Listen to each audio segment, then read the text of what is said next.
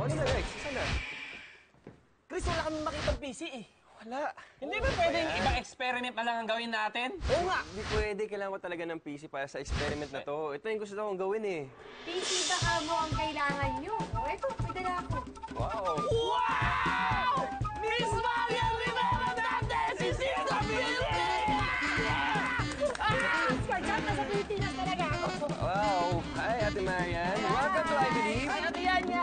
finally. Nakarating ka rin dito. Ay, Oo. gusto ko muna mag sa mga I-believers natin diyang nanonood. Hello!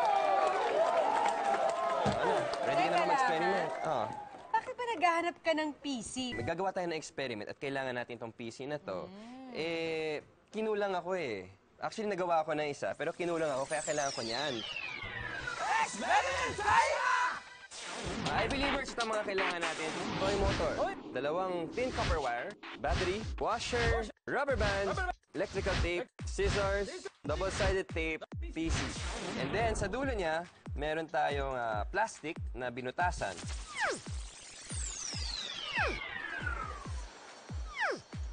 Para natin ma-insert siya dito sa sa dulo ng ating toy motor. Parang ganyan. Tapos, Okay. And then, yung kabilang dulo naman, tatali natin yung washer. Next, kailangan natin ilagay yung battery dito sa ating muna.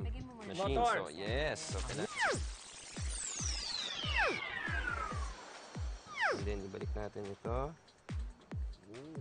Then, ah, kailangan natin ng yan, tape para i isisilang natin yung copper wire sa battery. Girl Scout si ate yan yan eh. Okay. And then, ayan na. Tingnan natin kung aandar na siya. Yun! Ayun na! Ayun! Mas marami, oh. sandali, Chris, parang nahilo ako ah. Ang dami mo kasing. Dahil paikot-ikot, no? It's all about nodes and antinodes. Nodes and antinodes are the characteristics of a standing wave. Standing wave can be produced by vibrating a chord at the right frequency. At nakita natin ang vibration na ito nang paikutin na natin ang chord o string. The places with no vibration are called nodes.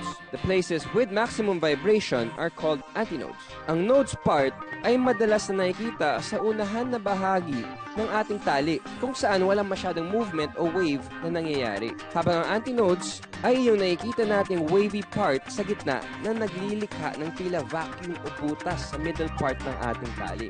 Ang nodes and antinodes ay pwede ring sukatin sa pamamagitan ng sound waves na nalilikha ng gitara at piano. I believe.